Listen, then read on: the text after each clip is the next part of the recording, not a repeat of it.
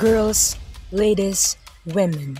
For a very long time, we cried and seek for inclusivity, equality, and opportunities. Until today, some of us still beg for it. Some will never know that in the midst of the pandemic, there were women, little girls, and amazing ladies that experienced gender discrimination and equality. Hence, let's not forget that COVID 19 is more than just a public health or economic crisis. It is a crisis of discrimination through lived experiences of race, gender, and class.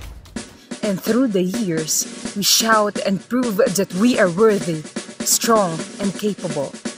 This is a story of different women across the world who continuously shouts. Once there was a lady and she loves her job and then suddenly she shouted, No, mom! You can't do this! You can't just fire and terminate me! I have my family to feed! Strongly, the boss replied, I'm sorry, this order is directly from the management. They ordered me to lay off women working as a welder. You have your skills. But then, the management is already short of the budget to pay you. Meanwhile, in hospital, there is teen girl who's whimpering saying, Ah! Help me, nurse! I'm going to deliver my baby now! Guilt-free, the nurse say, I am sorry, we have to wait for available rooms.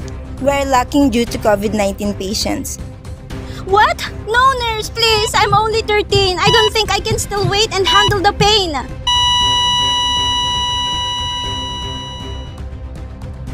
The next story is about a grasping violence. At home sweet home, a lovely wife is screaming. Ouch! Please stop! I'm going to die! Honey, please! And her beloved husband just say, You deserve that! You're weak! The wife courageously say, I'm going to the police! I will make sure you'll regret this! But the husband spitted a sad truth. Ha! You tried! They will not accommodate you! Sadly, it is estimated that 47 million women and girls have been pushed into extreme poverty since the declaration of the pandemic. It is also estimated that maternal death have increased by between 8 and 39% per month in low and middle income countries due to a COVID 19 related reduction of prenatal care. Violence against women and girls has rapidly increased in the wake movement restrictions linked to the pandemic. Up to 33% increase in intimate partner violence has been reported in some countries. These stories just prove that the world needs strong women. Thus, let me tell you a story that started with the voice of a firm and independent lady. They say women are weak, but they are wrong. Because I am a strong woman who can match the strength of men. Lifting heavy things is just basic to me. I don't need help from others because I can help myself to do heavy work. And I will use my talent to show the world that no woman should be eradicated from any types of work. In health services, a story of an empowered doctor echoes perseverance. She's strong and shouting. I am a doctor, not just of physical and emotional health, but I am a doctor who perceives to showcase empowerment among my fellow women who are oppressed, discriminated, and neglected in any type of services they need.